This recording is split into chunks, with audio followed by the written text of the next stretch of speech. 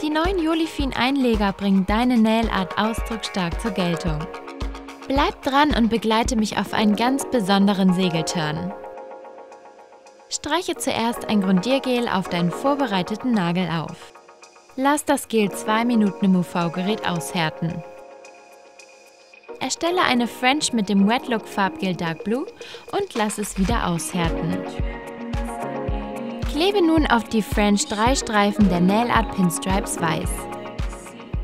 Überstehende Ränder schneidest du einfach ab. Jetzt kaschierst du das Nagelbett mit dem Make-up Cover Gel Amber. Auch das Make-up-Gel wird wieder für zwei Minuten ausgehärtet. In einer dünnen Schicht trägst du dann das Aufbaugel klar auf.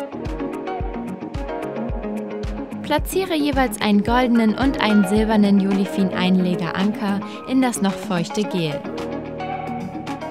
Das Illusion Glitter 3 Champagne tupfst du entlang der Smileline auf.